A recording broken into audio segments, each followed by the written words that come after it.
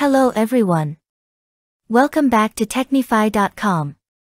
In today's video, we're going to explain the temperature controller. Specifically, we'll be looking at the workings, connections, and configurations of a temperature controller. In our last video we have explained temperature sensor and types of it.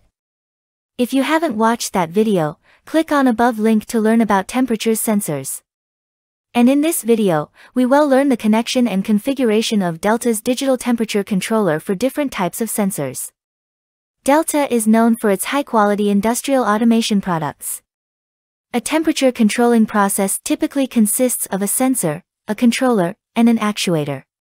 The sensor measures the temperature of the system and sends a signal to the controller.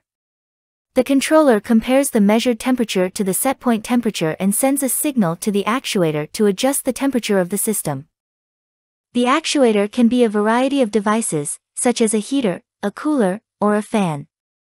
The actuator will turn on or off until the system temperature reaches the setpoint temperature. Now, let's move on to the connections of a Delta DTA series. Here on the back of the Delta temperature controller, you can see various input and output ports. These connection ports can be vary by models and series. But the basics are same. You can also find the connection guide on temperature controller. Here you can see the total 16 connection point. The 9 and 10 are for power supply to the controller that will be 220V AC, connection point 6, 7 and 8 are for temperature sensor. If we have any RTD them 6 and 7 for RTD and 8 for compensating lead of RTD. But if we have thermocouple then connect positive terminal of thermocouple to pint 7 and negative terminal at point 8. Connection 14, 15 and 16 are the output of temperature controller, the device like heater or cooler will be connected to these points. Output relay of this controller is SPDT, single pole double throw. Where 16 is common, 15 in normally open and 16 is normally close point. If we have configured it for voltage pulse output, point 15 and 16 will give voltage output of 14 volts. Connection point 11, 12 and 13 are output for alarms. Point 11 is common, 12 is alarm number 2 and point 13 is for alarm number 1.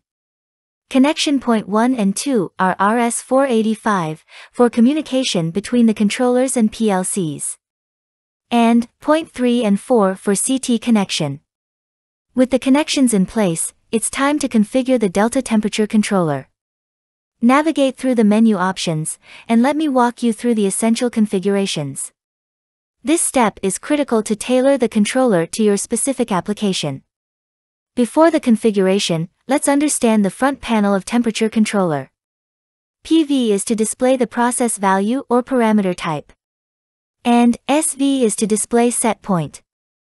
The AT LED flashes when the auto-tuning operation is on. And when PV value meets the SV value, the output will be on. Out light shows the output status.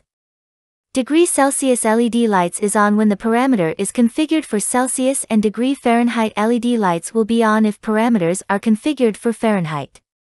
The ALM1 and ALM2 LED lights on when alarm 1 or alarm 2 output is on. There are four keys on this temperature controller. Function key, press this key to select the desired function mode. And press this key to confirm a setting value. Mode key, press this key to set parameters within each function mode. Up key, press this key to increase values displayed on the SV display. Down key, press this key to decrease values displayed on the SV display. Let's go through the configuration of the temperature controller.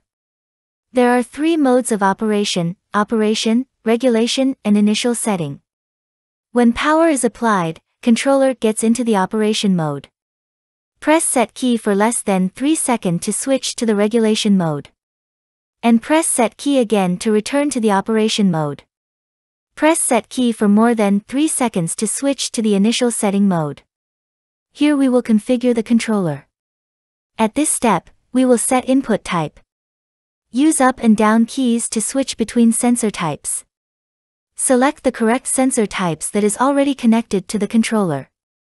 We have connected type K thermocouple. So we will select K1. and press function key to jump to the next setting. This is for set temperature unit.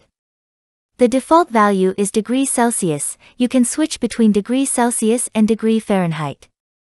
Press function key, set upper limit of temperature range. Press function key again and set lower limit of temperature range. Press function key. Here, select control mode. Options are PID, on, off or manual. We need to on off the heater, so we will select on off. Press function key and proceed to the next function. Now select heating or cooling functions. We are use the controller with water heater for heating the water. So, we will choose heating. Press function key, here set the difference between on and off. I we set it to 3, it means. Heater will turn off at set value and turn on again when 3 degrees Celsius temperature drop. You can set this value according to your requirements. Press function key and set alarm 1 and press function key again to set alarm 2. There are many other configurations that are optional. Used to configure for network communications. Press set key to return back to operation mode. Now set up and down key to set SV value and press function key. Now the controller is configured and in operation. Now that we've set up the delta temperature controller, let's put it to the test. We have a water heater. We have set its temperature at 50 degrees Celsius. Controller will turn off the heater when temperature reach at 50 degrees Celsius. And when hot water consumed and fresh water start to come, temperatures start decreasing. Heater will turn on again at 47 degrees Celsius. Additionally, I'll cover some common troubleshooting tips and solutions you might encounter during the initial setup or operation.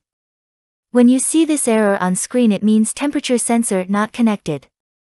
Check the connections, make sure the wires of sensor are connected correctly. And if the display is showing this, it means, measured temperature value exceeds temperature range. And if you see this error on screen, it means, unknown input. Probably you don't have configured correct sensor in initial setting of temperature controller. Go to the steps of initial settings and select correct types of sensor that is connected to the controller. And there you have it, a comprehensive guide to the Delta temperature controller. If you found this video helpful, don't forget to hit the like button and subscribe for more content. If you have any questions or if there's a specific topic you'd like me to cover in the future, leave a comment down below. Thanks for watching, and I'll see you in the next video, goodbye.